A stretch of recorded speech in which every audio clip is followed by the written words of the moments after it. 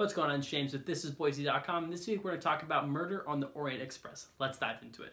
I'll do a quick summary before I go for my previous thoughts. So, Murder on the Orient Express is about all these, uh, I think 12, 15 people, I don't know, bunch of people are on a train, someone dies. It just so happens while on the train, this detective Hercule, not Hercules, Hercule, you gotta pronounce it right, played by Kenneth Branagh, is the world's greatest detective, and only he is gonna solve the mystery of who killed the dude.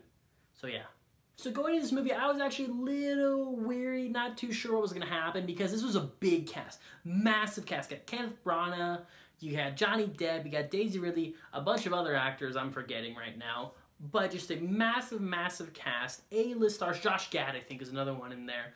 A-list stars, and when you get a bunch of A-listers in the same room together, it's for one of two things, and well, not one of two things. One of these two things happen.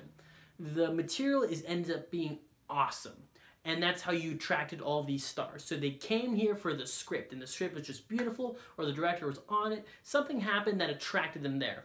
Or they kind of push them all there, and they thought that just because they were the good actors, it, they would just make a good movie. You know, they don't give them material to work with. They're just like, oh, they're great. Like, look at them go. And then it ends up being crap.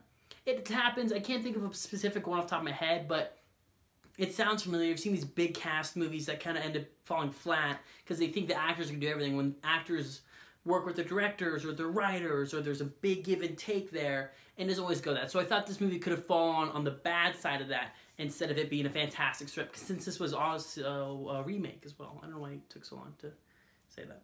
I'm also a decent fan of Kenneth Branagh as well. Kenneth Branagh directed the first Thor movie, which I enjoyed a lot. And Kenneth Branagh actually has a big Shakespearean background as well.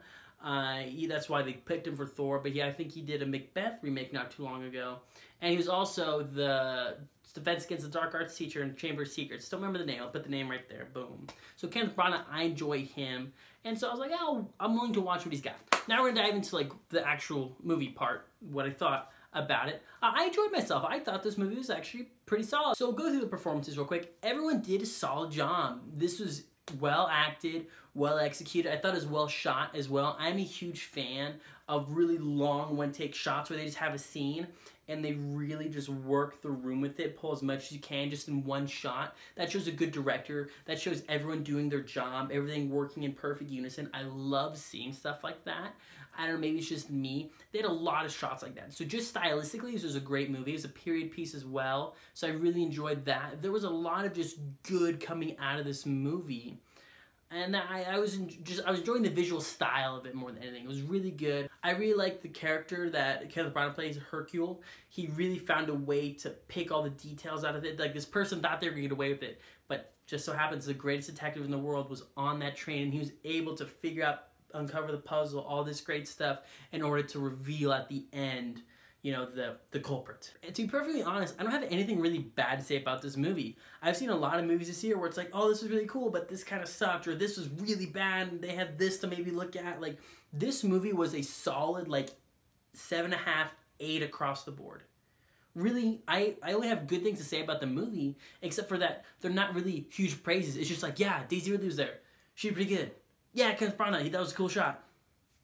Josh Gad, hey, Johnny Depp, oh, there's Johnny Depp. Like, there's nothing really, I can't praise this movie because it didn't really do anything too crazy, too different. It's a remake. I enjoyed myself. I, I was glued the whole time, but I can't really give this movie so much props because it was just kind of like, ah, you know, it was good. You know, nothing too crazy about it. Just, I had a good time. And the critical response is actually kind of negative. I think last I checked it was a 59 Rotten Tomatoes, 60, mid 60 audience score, which surprises me because I enjoyed this movie. I wasn't expecting anything to blow me away. I enjoyed the, the mystery and the intrigue and the ups and downs. So, so I don't quite understand that response. With that being said, I enjoyed the movie.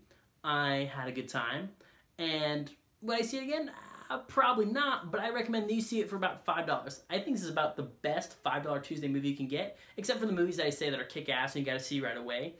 $5 Tuesday, this movie be so worth it. I think that you have a good time. Just get 10 bucks both of you, then you go down to go Dharma Sushi, right? Not Dharma.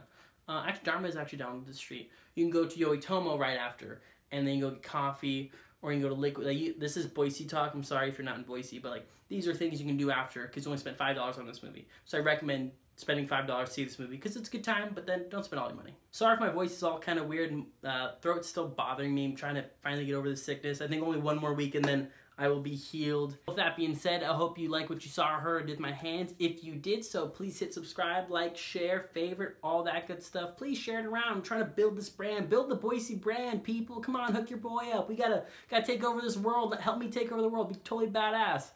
But that's that's another agenda. With all that being said, I hope you guys have a great week, and I'll see you next time. Give me a hug. My voice is still kind of weird. I'm still really sick. I'm trying to getting the hands if you uh, I hope you guys like the fucking shit. Damn it. Oh man. Hands. I hope you guys have a good day, good weekend, and I messed it up again. God damn it. Okay.